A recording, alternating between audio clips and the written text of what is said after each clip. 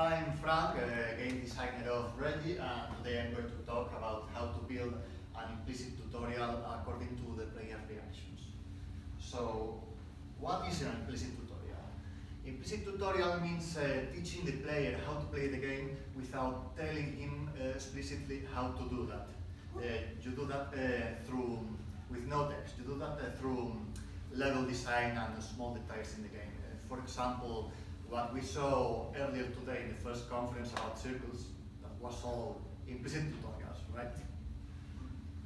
So I brought an example of a very famous implicit tutorial. when Mario reaches the first block, the Goomba is beneath the block. So when Mario tries to jump above the Goomba, he will accidentally hit the block from below and get a coin. He will bounce down and hit the Goomba. He already learned to to hit the blocks from below and the enemies from above. When he applies the lesson to the next block, he gets a mushroom. So that the Mario doesn't mistake uh, the mushroom for an enemy. The mushroom bounces back in that pipe and goes back to Mario, forcing him to get it. Yeah, it seems like overanalyzing, like, ah, but it works, and I'm about to prove it. So why does Reggie need implicit uh, well, Reggie works as a very classic platformer with some new mechanics built on top. These mechanics feel very natural when the player gets the hang of them, but until then they are a little bit hard to understand sometimes. It's also a game that has to be appealing for uh, casual gamers as well as pro gamers and they need to be able to pick it up and be able to master it. For example, this is the gravity mechanic, which uh, you have to alternate between jumps and gravity switching. Uh, unlike uh, VVVVVV and other games, you can switch gravity multiple times in the air uh, as long as you keep advancing. But if you spam it, if you do it a lot, you can see that uh, you lose uh, all your momentum because of the air friction. It's a simple mechanic to use, but a little bit too complicated to get at first.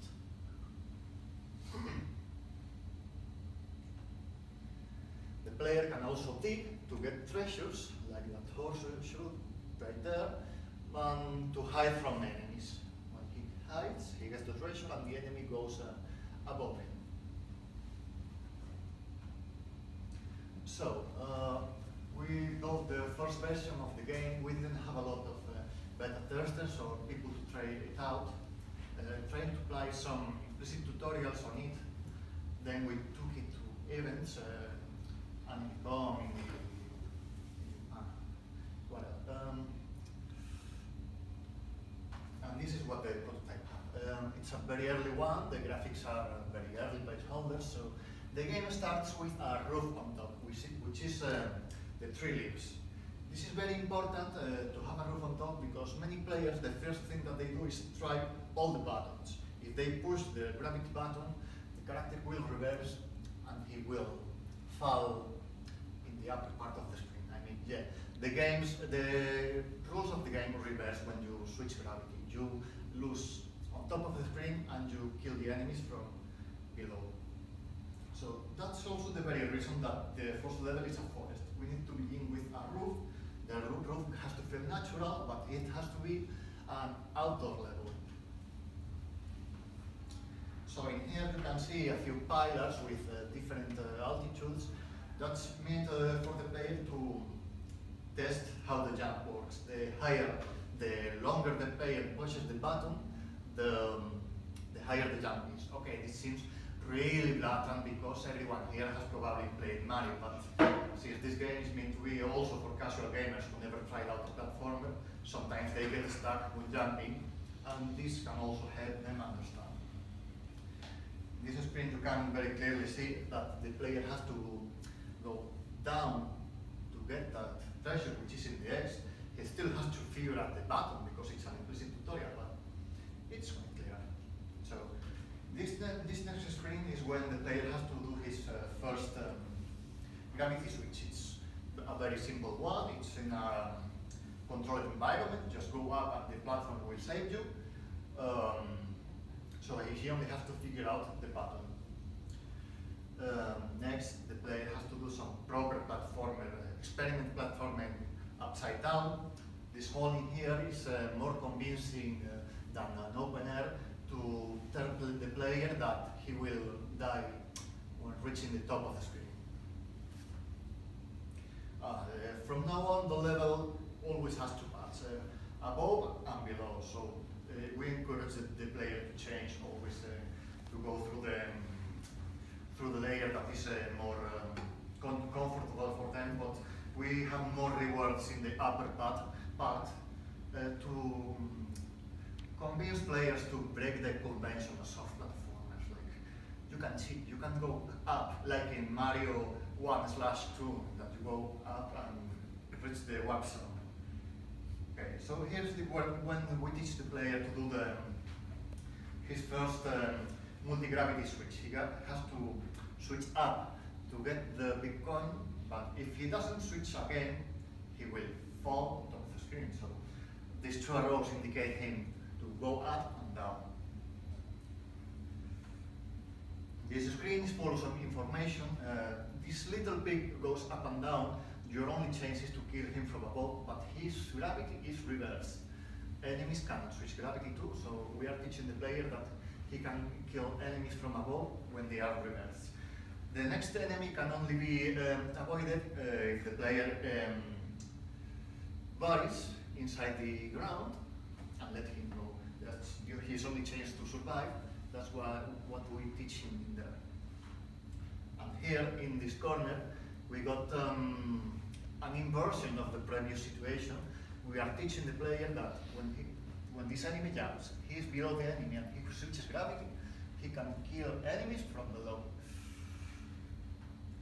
And here he can just uh, experiment with the multi-gravity changes through this layer of course, which is done Okay, so that's, that's pretty much the design of the first level, tutorial level that we did for the first version of the game.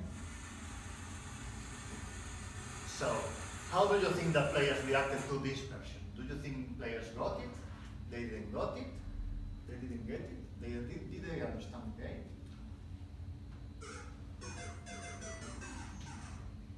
No.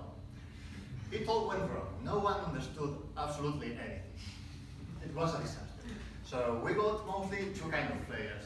Players who do not use the multi-gravity switch, they just uh, switch gravity very slowly and politely, uh, being quiet in specific places, and then the rest of the time they play as it was a normal platformer. Of course, they don't make it very far.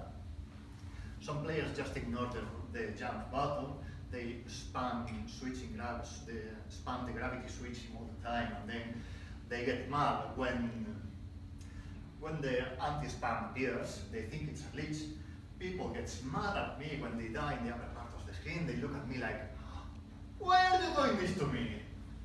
So, um, a lot of other things. People ask uh, weird questions uh, that uh, are uh, of common knowledge in platformers, like what are the coins meant to do, what's the goal of the game. So, yeah. We have to take it back to the drawing table and build it again. For the second prototype, um, we decided to make it a, a, bit more explicit. We have, we have a tutorial level where you cannot use the gravity. You learn there the basics with very rough um, panels. So this time we, we have a little tiny bit of. And uh, in the next level, the player gets the gravity ability and can start experimenting with it. So the tutorial level is like this. Teach how to jump, teach how to jump higher, always you get um, the key and the word hold or push. Um, how to borrow, how to bounce on enemies to go higher and can make combos, how to dodge the enemies by burrow. What happened this time?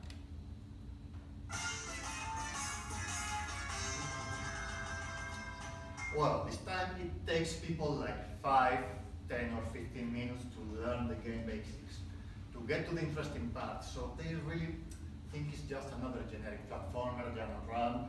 They don't get to the good stuff. And those who get already got used to play it like it was a normal platformer without switches.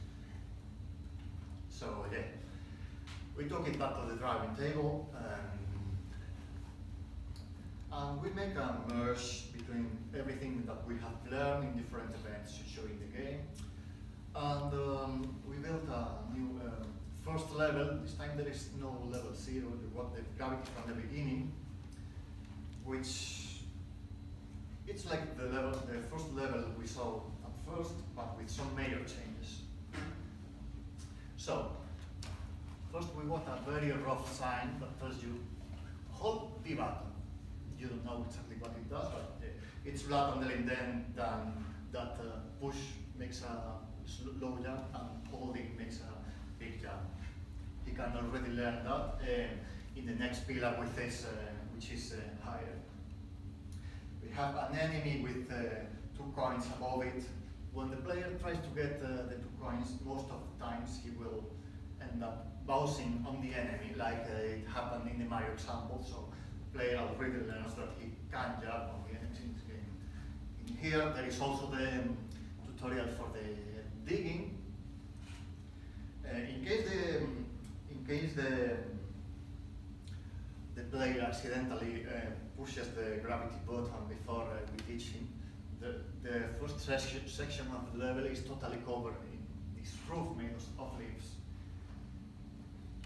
Here, we, when we teach them to push the gravity button to invert the gravity, I added a giant enemy here to add some drama, but it's not very dangerous. The player can figure easily what to do before the enemy gets to him. Also, we are forcing him to do the gravity switch because it's an important thing. He cannot uh, avoid this enemy pretty much in any other way. Well, he can uh, dig, but they never figured that, that uh, so early in the game. So there's an arrow that tells them to go down again because people was just um, thinking that um, they wouldn't die in the other part of the screen. Uh, these two horseshoes, because uh, we are repeating the, the situation with the enemy with the two horseshoes, so that people is invited to jump on them. This part is very interesting because um, it's not very visible in this image, but here is a, a special horseshoe. The player cannot get it by jumping because it's too high, so he's forced to do a gravity switch. If he doesn't do a double gravity switch, he will die in the other part of the screen. But the interesting thing is that this time they won't be mad at me because it's optional. It's up to them to do so, and they will not get frustrated. And that's the screen we get um, a little bit more uh, complicated version of the same thing. Uh, for getting this horseshoe, you have to do like three gravity switches. Uh, it's a more risky one, but again, it's optional. Um, this situation has been changed as well. Uh, people didn't understand it, so the first enemy you have to eliminate is simple and easy. But we have to add um, this um, X before the next enemy to remember people that they have to dig in order to avoid that enemy. And also, this other X in here is to invite people to switch gravity to kill the next enemy from below because they weren't doing so um, this is the last screen. This is the most complicated one because um, people didn't get at all the anti-spam feature. So with this uh, pattern of coins, they will try to usually try to spam the gravity to get them all. But um, it's clear in this situation that um, they will be slowed down when they do so because there is a lot of free air also they can, they can compare the movements of the character with the player of. Also, the floor is going to be filled with enemies like this one, which um, encourages the player to keep switching gravity until the landing is. Okay, so we first tried uh, this version in AnimeCon last week, and now in here. How do you think it worked? Maybe this time we got it, maybe some things, maybe other. They didn't. This is what happened.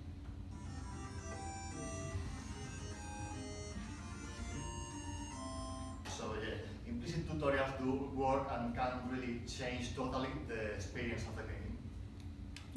Any questions?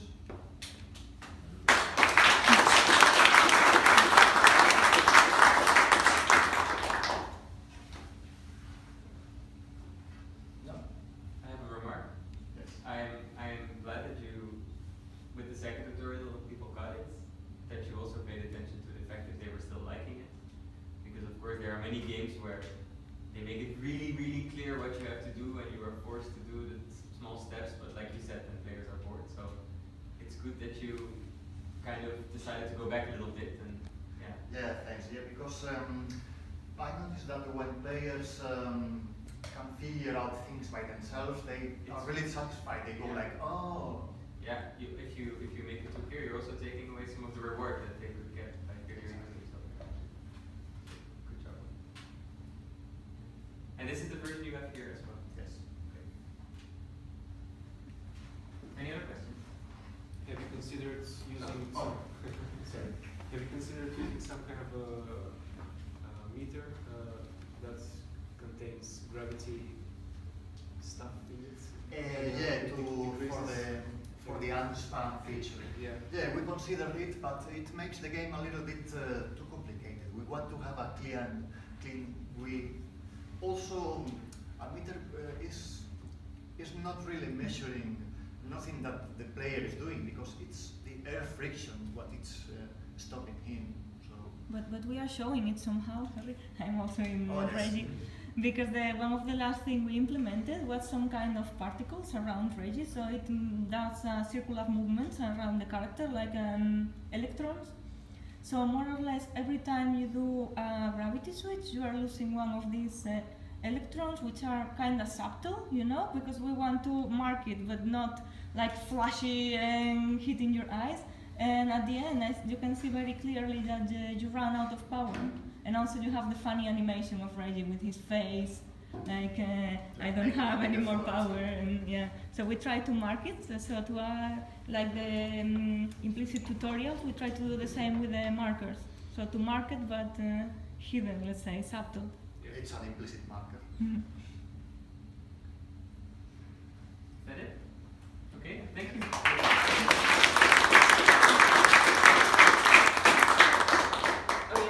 everybody for listening. Those were the talks. Um, hang out a little bit, play the games that are set up here, um, and um, yeah, that's it. Yeah.